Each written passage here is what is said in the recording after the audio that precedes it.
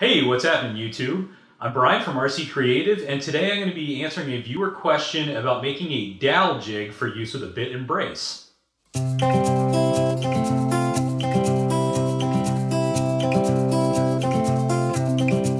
Michael says, Hello, project suggestion. I wonder, could you make a cheap but effective doweling jig? All the ones I see online are for use with electric drills, etc could you come up with one that it can be used with a bit and brace? As two hands are needed to use the brace, it would need to be able to be kept in place somehow without the need for clamps. Thank you. Little secret, this is actually my second attempt at making this video. Um, the first time around, I took his suggestion very literally and I, uh, you know, I, I got on the whiteboard with the markers and I started trying to engineer some solution to this problem. And what I realized was what I ended up drawing on the whiteboard was a wooden version of the doweling jig that I've already got, which is right here. Okay, this is a uh, General Pro doweling jig. I came out here and started experimenting with this uh, doweling jig and starting to create kind of another version of it. And it reminded me why I hate this doweling jig to begin with. So that's what happens to that. Um, today I'm going to be hitting the drawing board, literally, and coming up with a different solution that I hope is going to work. Um, basically, what Michael was talking about is that when you use a bit and brace, you need both hands to do this, okay? That much is pretty obvious. Um, but it can be difficult, especially if you're a newbie with these things, which, which I certainly am, to keep your bit and brace at 90 degrees to drill an accurate hole for use with doweling. So what I'm going to do is I'm going to try and build something that um, looks a little something like this. Clearly I suck at drawing and um, I don't have any specific dimensions on this thing yet but the general idea is that we've got a flat piece that sits on the workpiece we've got a vertical piece and we've got two other horizontal pieces that come off of that in sort of an F shape that will have holes drilled in the whole way down exactly perpendicular from one another that will keep the bit and brace straight as you drill, okay? Not really that complicated. The um, specific dimension that we do need here, though, is how tall that F is going to get. And basically, what I've realized is I've got six inches of material on the bits, okay? So I need, since I, I have this plane down to about an inch thick, so I need an inch to go through the horizontal piece that sits on the workpiece.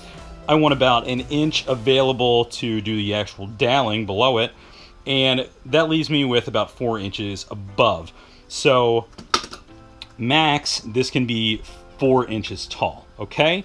And if I made it any taller than that, of course, it would be in the way of the brace, and it would um, it would interfere with the uh, well the uh, action that we're trying to, to do here.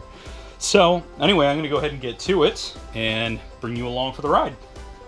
I start by ripping an inch and a half thick strip from the piece of scrap that I'm using to build this jig. The wide piece that's left over will be the base of the jig, and the inch and a half thick strip will be used to cut the other pieces. Next I need to rip the base to length. I decided to make the base about a foot long, which means the base is far out of the way of the rest of the jig, so I can clamp it if I need to while I'm using the bit and brace.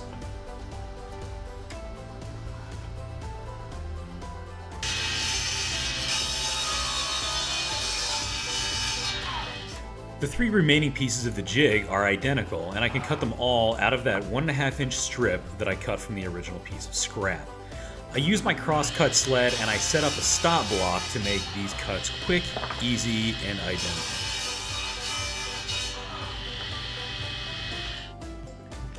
Next, I need to find the center of the base and mark it with my marking gauge. The base is 4 and 3 quarter inches wide, so the center would be 2 and 3 eighths inches. I go ahead and I mark this, and I make sure I make the mark deep, because we're going to need it again later after we finish making our doweling jig and we go to use it, these lines that we're scoring now are going to be what we use to line up the cut. Next, we need to mark the center line on the horizontal pieces. These pieces are about an inch thick, so we'll set our marking gauge to a 1 half inch cut. The last mark that we need to make is 1 inch from the edge of the base. The intersection of the center line and this 1 inch mark are where we're going to drill the guide holes for the jig. Go ahead and do this for both the base as well as the two horizontal guides. Alright, so here's the thing. Um, I don't have an all hand tool set up. That's just not my thing. I'm not really interested in that. Um, so I am going to use my drill press to drill out these holes. If you want to do something else, if you want to use your bit and brace, have at it. Um, I'm not saying, you know, a hand tool workflow is better or worse than what I do.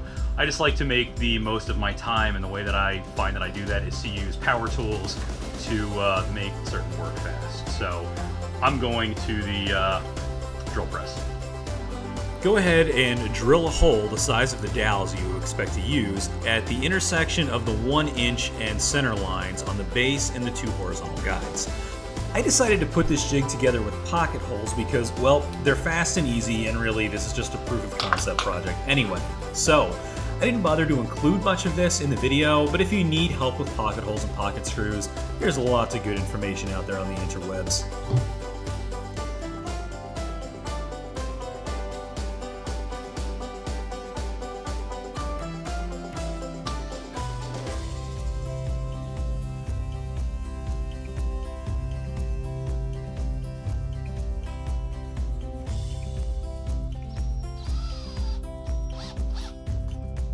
All right, so this thing is done, and I've gone ahead and I have darkened the locations so you can so you can reference off the sides in order to line up the hole. Okay, and let's go find go ahead and find a piece that we're going to try and dowel.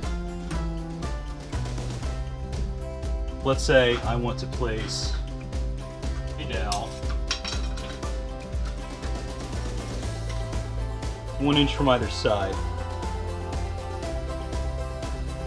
Alright, so I'll mark in there, I'll mark in there.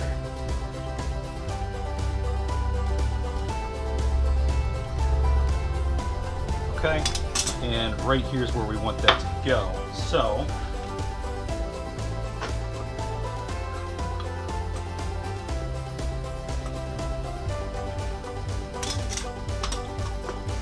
basically here's my goal. I'll line that up.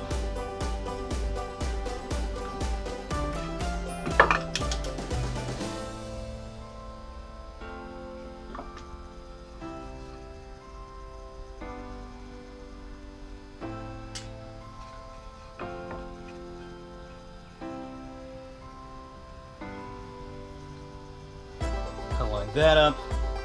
Okay, so and if the marks line up on both of them,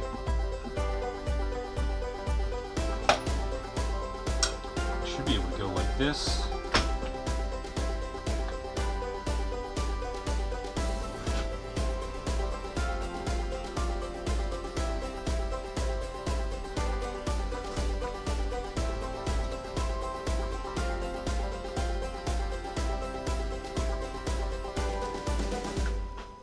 All right, Michael. Well, I hope that answers your question. Um, one problem I know he mentioned in the email that my jig doesn't necessarily solve is the ability to not have a clamp involved. And well, the more I've wrestled with this problem, the more I'm thinking I don't I don't see any way where you can not have a clamp involved in this. One way or another, you either have to have a clamp integrated into the jig or you need a clamp that you can clamp onto the jig somewhere in order to solve the problem because obviously, like Michael said, you do need both hands to use a bit and brace, okay? So, what do you do about that? Well, you make your jig in such a way that you can clamp far enough away from the jig that it's not in the way of the bit and brace while you're working, okay? So, in my design, I know this thing looks big and clunky, and that is totally intentional in a way, okay? Because now we've got this base back here that we can essentially clamp down far enough away from the work to not be in the way, okay? So, voila, jig, totally not an issue, all right? Um, what else? Um, yeah, I, I measured the uh, the dowel coming out of the hole, and it's not 100% 90 degrees. Um, but um, I don't think, number one, I don't think that's a huge deal. It was very close. Um, the other thing is that I didn't actually have this clamped down while I was using it, so the jig was kind of whirling around as I cut this hole, and obviously that's not going to be good for any kind of uh, accuracy. So use the clamp, clamp down your jig, use this monstrosity as your solution, and I really think you ought to be good to go. Um, all right, well, that's pretty much it for this one. Uh, if you liked what you saw, I really hope you will click the subscribe button and see what I have coming down the pipe next. I've got lots of other woodworking tutorials and other DIY projects that I get into, and uh, I hope you'll check them out. All right, I am Brian from RC Creative, and I will catch you next time. Later.